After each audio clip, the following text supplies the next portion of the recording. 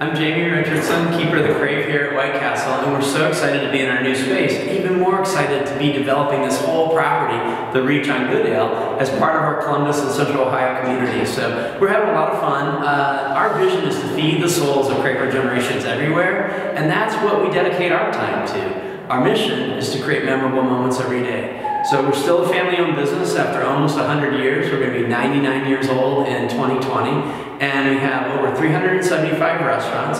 And in addition, we're in freezer aisles all over the country in grocery stores. And so for us, it's about serving up hot and tasty food at affordable prices that our customers crave. And at the same time, uh, we nourish our own souls through really tremendous loyalty. So of our 10,000 team members, more than one in four have been with White Castle 10 years or more. So that's what we're really happy about. We're really excited to be uh, making our way towards our 100th birthday and excited for everything that's happening in the land of Crave. Crave on, my friends. Long live sliders.